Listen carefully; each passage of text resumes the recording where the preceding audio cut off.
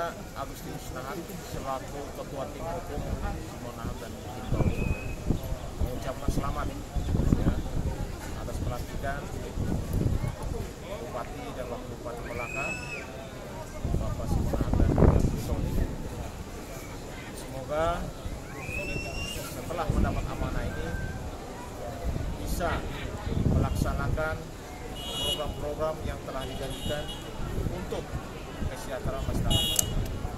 Jadilah pemimpin yang baik, karena orang baik pasti akan selalu menjadi harapan buat masyarakat Melaka.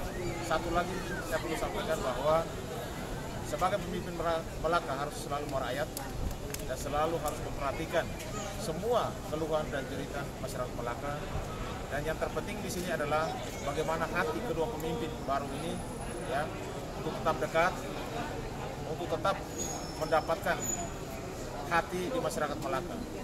Karena Melaka harus maju dan masyarakat Melaka harus sejahtera. Pemimpin yang baru, pemimpin yang amanah. Terima kasih.